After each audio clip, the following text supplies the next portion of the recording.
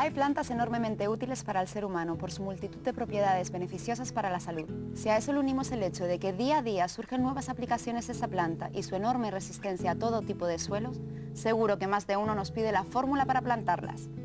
Desde muebles a todo tipo de decoración, desde alimento a complemento de dieta. La especie de la que vamos a hablaros a continuación parece estar cada vez más de moda, a pesar de no ser originaria de nuestro país. Nuestro jardinero nos revela el misterio de su exotismo, el bambú. Podemos clasificar estos eh, bambúes en dos categorías, vamos a decir, los eh, bambúes eh, rastreros y los no rastreros. Luego vamos a clasificarlos también según las alturas que pueden medir. Hablaremos de los bambúes gigantes, que son bambúes que pueden medir de 9 metros hasta 15 metros y más. Los bambúes medianos los bambúes eh, pequeños y por final los bambúes eh, rastreros. Los bambúes eh, rastreros se desarrollan por sus raíces, por el sistema radicular. El bambú va a cada primavera tener nuevos brotes sobre sus raíces. La mayoría de los bambúes hoy día pueden aclimatarse en el clima de España. Lo que se tiene que cuidar más es eh, el terreno, es decir, que los bambúes necesitan acidez, un terreno de brezo, por ejemplo, y sobre todo no terreno carcáreos. Vamos ahora a plantar bambús. Eh, vamos a hacer primero un seto, un seto con una especie que me gusta mucho, que es el Sasa japonica. Es un bambú que, que tiene hojas muy largas y que va a ayudarnos a hacer una pared vegetal eh, muy decorativa.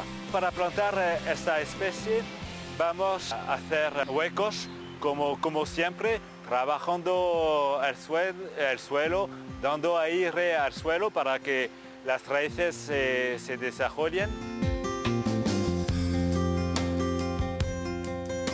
Ahora vamos a intentar hacer una zona tropical con frescura y escogiendo un bambú interesante que tiene un follaje eh, mixto hecho de, verde y de blanco y con eh, hojas eh, muy anchas y muy largas y que van a dar un aspecto también muy compacto.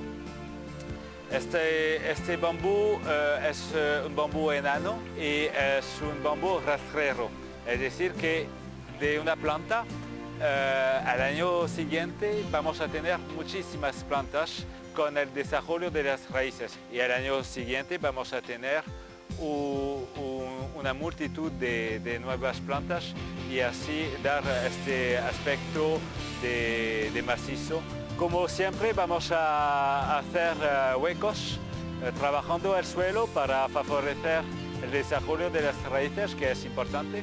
Vamos a dar aire trabajando el suelo y una vez eh, puesto cada cepillón en los huecos vamos a poner un poco de tierra encima de los cepillones y unos 2-3 centímetros y cuando todo está hecho vamos a regar y a lo mejor pondremos un poco de corteza de pino para dar un aspecto eh, más convivial a la plantación.